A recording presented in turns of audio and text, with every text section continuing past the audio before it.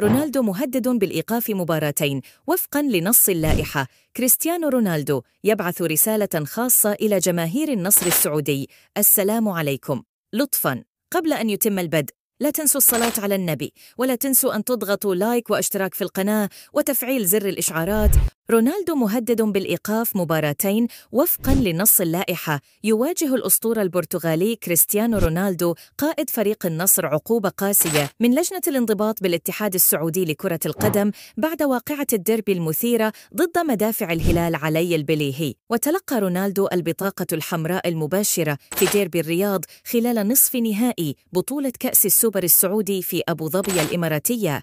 بعد تعديه بالضرب على مدافع الهلال علي البليهي خلال أحداث الشوط الثاني كريستيانو رونالدو يبعث رسالة خاصة إلى جماهير النصر السعودي. بعث البرتغالي كريستيانو رونالدو مهاجم النصر السعودي رسالة خاصة إلى جماهير فريقه قبل استقبال نادي الفيحاء الجمعة المقبل ضمن منافسات الأسبوع الثامن والعشرين من دوري روشن السعودي لكرة القدم. ونشر رونالدو البالغ من العمر 39 عاما صورة خاصة أثناء مشاركته في تدريبات النصر السعودي تحضيرا لمواجهة الفيحاء معلقا عليها بالقول العودة إلى العمل. على الرغم من عدم وضوح فرصه في اللعب باللقاء حيث يبدو مهددا بالإيقاف بعد طرده أمام الهلال. كشفت تقارير صحفية سعودية اليوم الثلاثاء عن أن البرتغالي كريستيانو رونالدو لاعب فريق النصر السعودي أصبح مهددا بالإيقاف لمباراتين وتغريمه ماديا بعد طرده في ديربي الرياض أمام الهلال.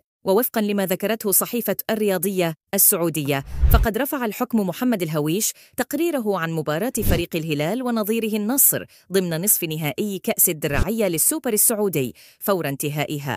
ودون فيه ارتكاب النجم البرتغالي كريستيانو رونالدو قائد الفريق الأصفر سلوكا مشينا بعد استخدامه الكوع بقوة مفرطة لضرب علي البليهي مدافع الهلال. وتعاقب لائحة الانضباط في الاتحاد السعودي لكرة القدم اللاعب مرتكب السلوك المشين بالإيقاف مباراتين ودفع غرامة قدرها 20 ألف ريال. وأشهر الهويش في الدقيقة 86 من المباراة البطاقة الحمراء المباشرة للاعب النصر كريستيانو رونالدو الذي بدا معترضا على القرار قبل أن يغادر أرضية ملعب محمد بن زايد في أبو ظبي. عاصمة الإمارات. رونالدو يثير الجدل مجددا في السعودية. بعد ضربه البليهي أثار قائد نادي النصر السعودي النجم البرتغالي كريستيانو رونالدو الجدل مجددا في السعودية بعدما طرد في مباراة فريقه يوم الاثنين أمام الهلال في كأس السوبر السعودي.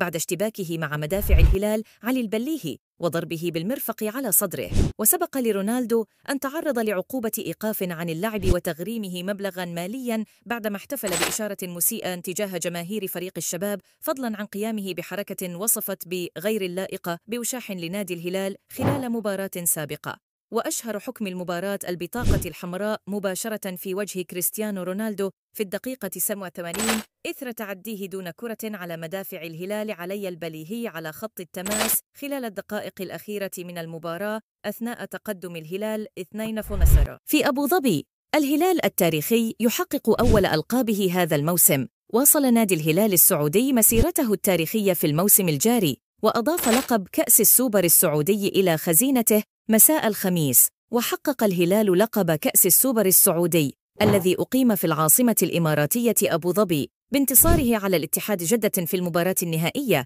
بنتيجة أربعة واحد وسجل للهلال نجميه البرازيلي مالكوم والسعودي سالم الدسري هدفين بمهارة عالية في الشوط الأول بينما سجل للاتحاد المهاجم المغربي عبد الرزاق حمد الله الهدف الوحيد بعد أن عادت ركلة جزاء صدها ياسين بونو لقدميه ليضعها في الشباك.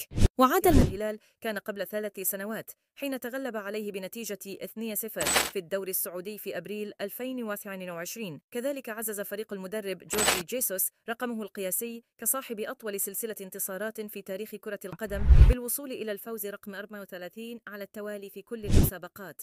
أكتفي باستلام النتيجة. نيمار يحتفل بتتويج الهلال بكأس السوبر السعودي. احتفل البرازيلي. نيمار لاعب الهلال السعودي بالتتويج بكأس السوبر السعودي عقب الفوز مساء أمس على اتحاد جدة بنتيجة 4-1 ولم يشارك نيمار في المباراة بسبب الإصابة. وحضر اللقاء من المدرجات وحرص على النزول إلى أرض الملعب للاحتفال مع اللاعبين. ونشر نيمار مقطع فيديو له عبر حسابه الرسمي على موقع إكس يمازح فيه المتابعين وقال الأمر مثل ما كان عليه في المدرسة حيث يقوم الزملاء بكل العمل وأكتفي باستلام النتيجة في أبو ظبي. الهلال التاريخي يحقق أول ألقابه هذا الموسم واصل نادي الهلال السعودي مسيرته التاريخية في الموسم الجاري وأضاف لقب كأس السوبر السعودي إلى خزينته مساء الخميس وحقق الهلال لقب كأس السوبر السعودي. أقيم في العاصمة الإماراتية أبو ظبي بانتصاره على الاتحاد عدة في المباراة النهائية بنتيجة 4 1 بعد تصريحاته الجدلية ماذا قدم كريم بنزيما في مباراة الهلال والاتحاد؟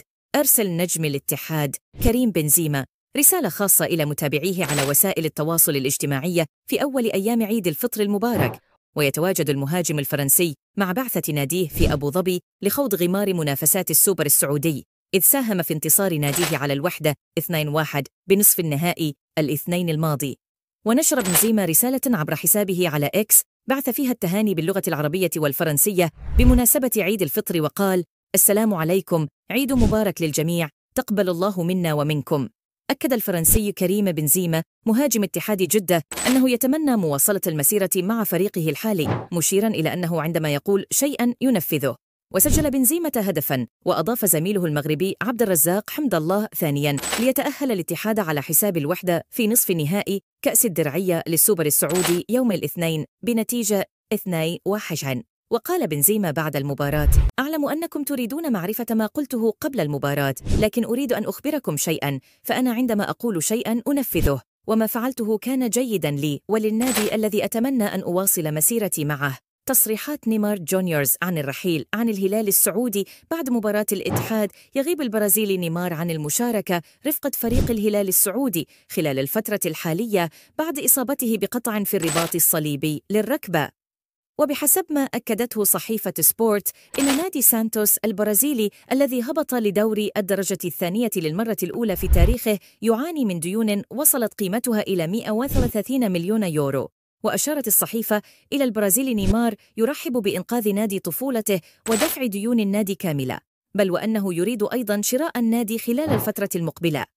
والآن أعزائي المشاهدين أعتقد أننا وصلنا إلى نهاية الحلقة ولكن قبل أن أنهي حديثي سأطرح عليكم سؤال وأتمنى منكم المشاركة في التعليقات. هل قرر كريستيانو رونالدو الرحيل عن الدورة السعودي؟ لا تنسوا أن تشاركوا في التعليقات ولا تنسوا أن تضغطوا لايك أسفل الفيديو من أجل تقديم الدعم.